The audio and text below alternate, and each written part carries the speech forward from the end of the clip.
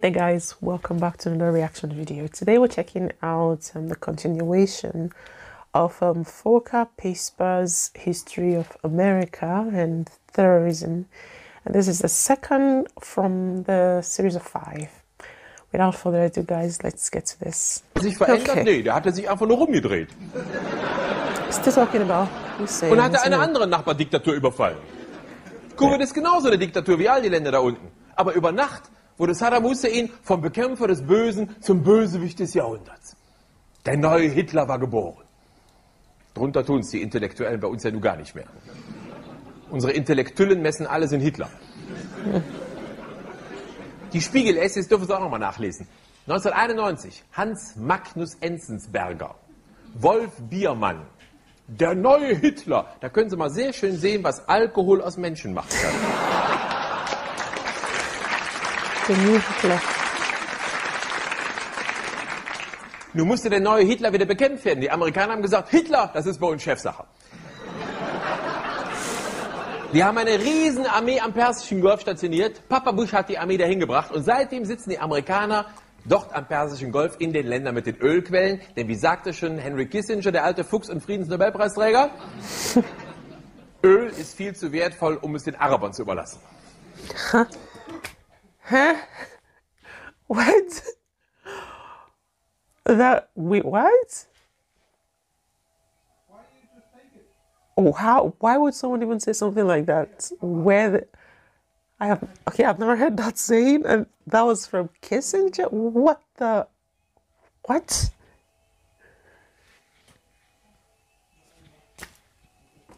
Blöderweise sind es aber nicht nur die Länder mit den Ölquellen, es sind dummerweise gleichzeitig die Länder mit den heiligen Städten des Islam. Und da muss man ja mal fragen, was der Herrgott sich da wohl bei gedacht hat. Unser schönes Öl bei den Moslems zu verbuddeln. Ne? His sense of humor is so great. Like, look at that irony. Why would someone even say something so horrible? Like, oil is too important to be in the hands of Muslims. Really? And it turns out the so too important oil is is was has been buried in the land of the Muslims. I mean, look at that irony. I mean, this guy is this guy is so he's he's so intelligent. He's so great. I mean, see how he's bringing this very sensitive, this very important topic and just turning it into something really funny. Amazing. Denn allein die Anwesenheit der amerikanischen Soldaten in diesen Ländern ist der Affront für den gläubigen Moslem. Für den gläubigen Moslem ist das eine Gotteslästerung, ein Sakrileg. Durch die Anwesenheit ungläubiger Soldaten werden die heiligen Städten entweiht. Das ist deren Glaube, das müssen sie einfach so akzeptieren. Das können sie ja komisch finden. Bei uns findet man den Islam ja sehr gerne komisch. Da wird im Karneval Witze darüber gemacht, ne? Da tragen die Frauen Kopftücher, 72 Jungfrauen im Paradies für Märtyrer, ne? Was für eine alberne Religion. Ich weiß ja nicht, woran Sie so glauben. Stehen Sie auf Dreifaltigkeit oder auf Jungfräulichkeit? Gehen Sie da sonntags in den Tempel? Zur Copperfield Show? Ja, knabbern Sie I am Leib Christi right? like, yeah, that's funny. I'm sorry I'm posting this thing too much. Yeah, I'll, I'll try. I'll try to reduce that. But it's it's funny, isn't it? It's like you have these religions making fun of each other, and at the end of the day, they believe in you know the same things.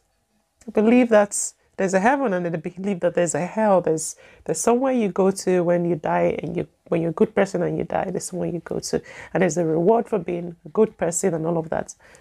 And they're also, you know, we're also worshiping worshiping a God who is not visible. You know, so it's pretty much the same. We have the same belief, but still, we're still making fun of fun of each other, just because we have a different name to our religion. Look at that irony. It's it's so ironic, isn't it? It's just fun. I try to reduce the posting Merken Sie, es ist ziemlich leicht, sich über Leute Religionen lustig zu machen. Jeder hat das Recht, etwas zu glauben, meine Damen und Herren. Das ist Religionsfreiheit. Exactly. Jeder hat das Recht, an etwas zu glauben. Wer da Recht hat, aus meiner Sicht, sind alle Leute, die an so etwas glauben, einfach nur zu faul, um selber zu denken. Aber auch das ist nur meine Meinung. Wer Recht hat, wer weiß das schon. Who knows? Das erfahren wir vielleicht exactly. irgendwann mal. Wenn ich recht habe, erfahren wir es nie. Aber eines, eines, das müssen Sie akzeptieren. Für den gläubigen Moslem ist die Anwesenheit der Amerikaner in diesen Ländern wie für einen gläubigen Katholiken die Stationierung von Taliban im Vatikan. He Was haben die Amerikaner da verloren? Menschenrechte schützen. Haben sie noch einen besseren Witz auf Lager? Was die amerikanische Regierung unter Menschenrechten versteht, das hat jetzt auch der letzte Araber kapiert, ne? Menschenintensivhaltung auf Guantanamo Bay. Menschen Gassi führen an Hundeleien. Naja. Menschenrechte. Es geht doch nie um Menschenrechte im Nahen Osten. Hören Sie da endlich mit dem Geschwätz auf. Wenn es um Menschenrechte im Nahen Osten ging, hätte schon vor Jahrzehnten die UNO dahin gemusst. Mit Blauhelmtruppen muss man da rein. Palästinenser und Israelis voreinander schützen. Die Extremisten auf beiden Seiten müssen dingfest gemacht werden. Die Profiteure des Konfliktes, die Extremisten auf beiden Seiten. Arafat und Sharon in eine Gummizelle. Das wäre ein Anfang, das wäre ein Symbol. so smart. Aber Frieden im Nahen Osten, das wäre doch der amerikanische Albtraum. Stellen Sie mal vor, die jungen Israelis söhnen sich mit den jungen Arabern wirklich aus. Die einen haben das Rohöl, die anderen haben das technische Know-how. Die Amerikaner stehen endgültig außen vor. Das Einzige, was die noch auf Weltniveau produzieren können, die Amerikaner, das sind Waffen. Schon alles, was kompliziert ist als im Kühlschrank, müssen die heute importieren. Frieden im Nahen Osten wäre der Albtraum für die Amerikaner. Es geht doch nicht um die Menschenrechte. Es geht um die. Ressourcen. Das wird doch jetzt so endlich offen gesagt. Es geht ums Öl, meine Damen und Herren. Endlich kommt die Wahrheit zutage. Deshalb muss auch die Bundeswehr umgebaut werden, weil die NATO doch neue Aufgaben hat. Und da ist die Bundeswehr als Verteidigungsarmee natürlich ziemlich lästig. Wir sind ja eine reine Verteidigungsarmee. Grundgesetz, aber es steht da so ein Schwachsinn drin. Ne? Die Bundeswehr ist dazu da, an der Grenze den Feind so lange aufzuhalten, bis Militär kommt.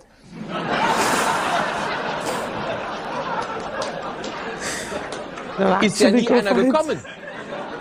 All die Jahre nicht. Das Einzige, wofür unsere Panzer gut waren, waren Flurschäden in der Lüneburger Heide. Wir haben einsehen müssen nach 60 traurigen Jahren, keiner will mit uns deutschen Krieg spielen, wenn wir nicht anfangen. Und jetzt sollen die deutschen Soldaten wieder überall mitkämpfen dürfen. Peter Struck sagt heute, Deutschland wird am Hindukusch verteidigt. Als der den Satz im Frühjahr gesagt hat, meine Damen und Herren, da war mir schon klar, dass bei dem mit der Durchblutung nicht mehr alles ganz in Ordnung ist.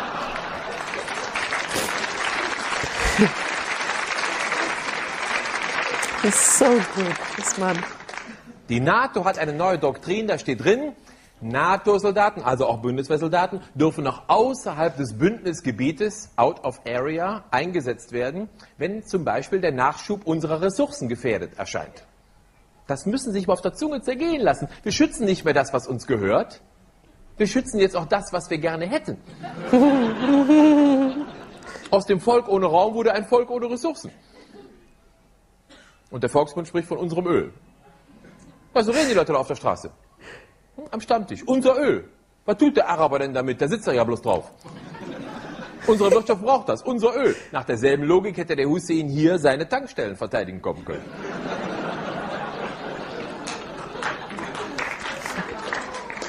Die USA haben den Hussein zweimal angegriffen und zweimal haben sie ihn vernichtend besiegt, weil er eben kein Hitler ist, Herr Enzensberger.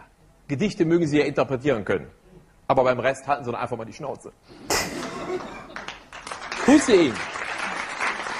Hussein hat immer taktiert. Was geht, was geht nicht. Denken Sie zurück an den ersten Krieg gegen Hussein, 1990. Die Amerikaner haben die Riesenarmee stationiert. Papa Bush hat die Armee dahin gebracht. Am 17. Januar 1991 ging es los. Präzisionsbombardement. Erstmal vier Wochen lang Bombardement. Die Amerikaner können ja heute mit chirurgischer Präzision. Die können mit chirurgischer Präzision aus fünf Kilometer Höhe, die können keine Maschinen bauen, die Zettel zählen können, aber die können aus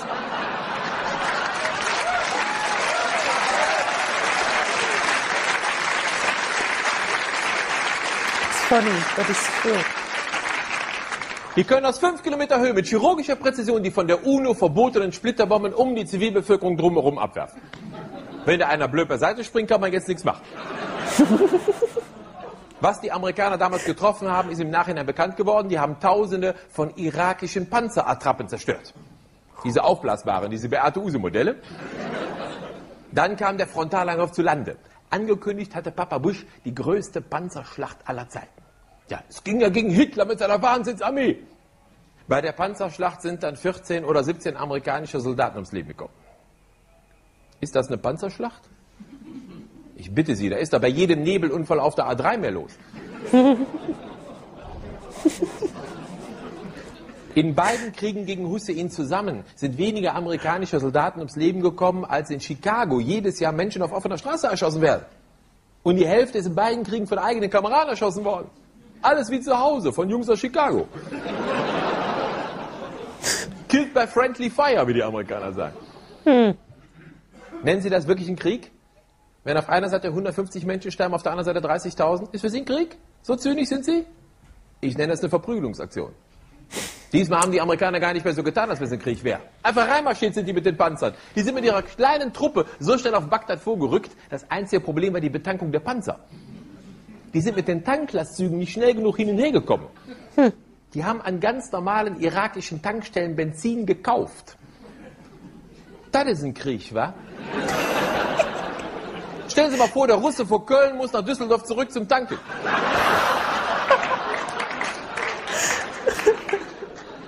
Nehmt ihr doch Rubel. Na, nix Visa. Rubel. Es ist Krieg. Rubel. Und zwei Mars. oh mein goodness. Womit hätte denn die großartige irakische Armee kämpfen sollen? Die irakische Armee verfügt über alte Panzer, die können andere Panzer auf 500 Meter Entfernung zerstören. Das wussten die Amerikaner ganz genau. Die Amerikaner haben die neuesten Panzer dahin gebracht, die können andere Panzer auf 1500 Meter Entfernung zerstören. Satellitengestützte Navigation, Zielerfassung und Aufklärung. Da können Sie dreimal raten, wer da gewinnt. Da können Sie auf Vitali Klitschko auf einen Dreijährigen loslassen und sagen, pass auf, der Kleine hat einen schweren linken Haken, nimm nicht in Acht. Aber der Hussein hatte ja die Massenvernichtungswaffen. Das ganze Land war ja voller Massenvernichtungswaffen. Wo sind die eigentlich abgeblieben? Das fragt man sich ja auch. Der Putin hat einen schönen Satz gesagt, kurz nach Kriegsende letztes Jahr. Der Putin hat gesagt, wenn ich die Amerikaner wäre, ich würde welche finden.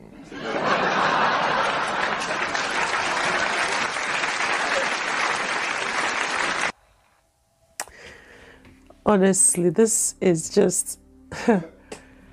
this is crazy. It's crazy because it's true and I kind of feel guilty laughing about it, but I can't help but laugh. It's the way he tells this story, it's the way he just simplifies this very serious, you know, um, topic, just dismantles and just, just makes it so easy and so simple and just finds humor in it, and then try to have some sarcasm in there. He's, he's brilliant. It's just the simple way he, he tells it.